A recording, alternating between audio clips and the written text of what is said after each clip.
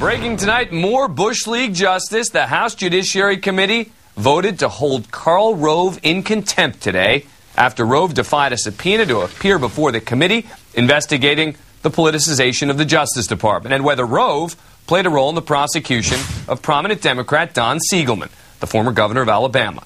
This comes just a day after another damning Justice Department report showed that Bush appointees in the Justice Department broke the law by trying to hire only loyal Republicans for what were supposed to be non political jobs. Now, all eyes are on House Speaker Nancy Pelosi and whether a contempt vote against Rove will be brought before the full House of Representatives.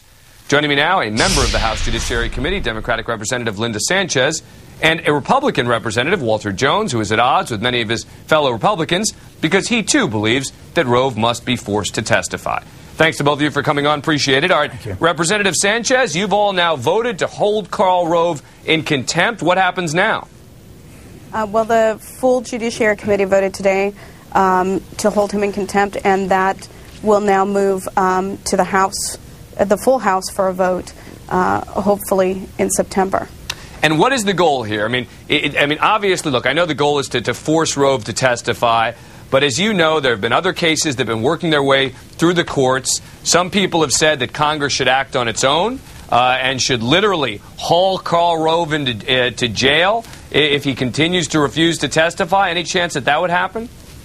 Uh, it's possible. Under the contempt order that was issued today, um, there was a provision that any uh, legal means necessary be employed um, to force him to testify, which could include the inherent contempt powers of Congress, which would mean, yes, that he would be arrested and held in jail. Um, and that there would be a trial in the House of Representatives. Do you, that's not something that's been taken off the table, so it, it is a possibility. Do you want that to happen? Uh, personally, I would love to see that happen. Um, whether or not we'll get that is, is another question entirely.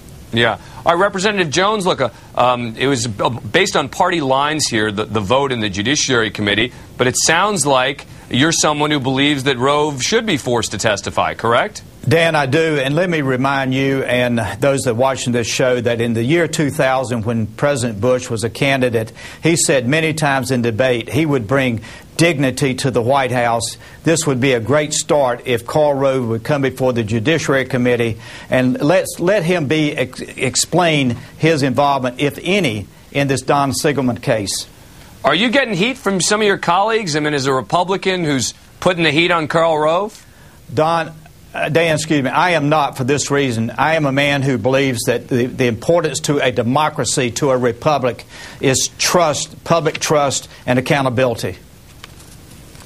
Look, I, I agree with you. Um, that, that's, that's been my argument all along. I don't think this should be uh, based on party lines, but, but I've got to believe that you're one of a, a handful of Republicans willing to take that principled position. Well, Dan, let me say this. Uh, I have only one person to answer to, and that's my God one day in my life. Okay. And what do you think about the notion that if Karl Rove, look, you know Karl Rove's not coming, all right? He's not going to come unless he is absolutely forced to testify. This is now, uh, maybe in September, that the House will vote uh, to hold him in contempt. Then it continues to, to work its way through the courts. Do you think that Congress should act on its own, as Representative Sanchez believes that they should, and literally haul Karl Rove in themselves? Well, let me say this, Dan. I, I was one of those re- Republicans who I voted for four articles of impeachment with Bill Clinton. I did everything to bring the truth out as it related to President Clinton at the time. I feel the same way that, that Karl Rove has an obligation to come to the Ju- Judiciary Committee, excuse me, and to tell what he knows about the Don Siegelman case. But he's not coming. So do you think that knowing he's not coming, should Congress use its inherent power and haul him in, possibly put him into jail? Whatever authority the Congress has, we need to uphold the institution.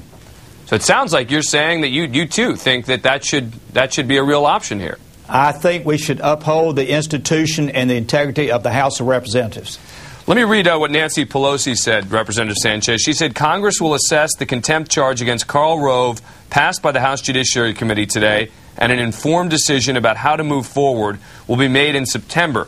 What, do you, what is the reluctance, if any, do you think, on the part of the House to hold Rove in contempt?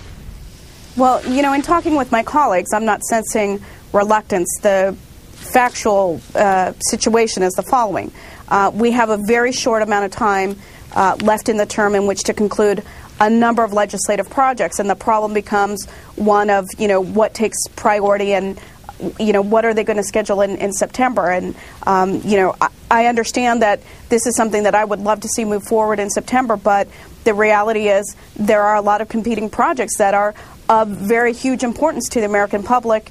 Uh, and so, you know, so in bottom September, line, the spe- Speaker will line, make, make a it, decision. It sounds to me like bottom line is you don't think anything's going to happen anytime soon. I don't know that for sure. Um, we won't know until September when they yeah. assess what needs to take precedence in the House. All right. Uh, Representative Linda Sanchez and Representative Walter Jones, thank you both very much for coming on the program. Appreciate thank it. Thank you.